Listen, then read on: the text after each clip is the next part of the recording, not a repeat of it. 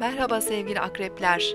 Ketum bir burç olarak bilinseniz de bugün konuşma ve kendinizi ifade etme ihtiyacı duyabilirsiniz. İletişim kurmakta da her zamankinden daha başarılı olmanız sizi şaşırtmasın.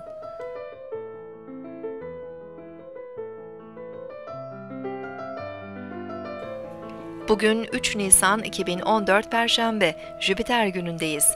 Boğa burcunda ilerleyen ay sabah 8.45'te Kova burcundaki Venüs'le kare açı yapacak ve ardından boşluğa girecek.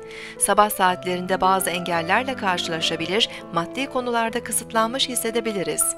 Ay 13.50'de İkizler burcuna geçiş yapınca ağır ve sıkıcı enerjiler yavaş yavaş dağılabilir.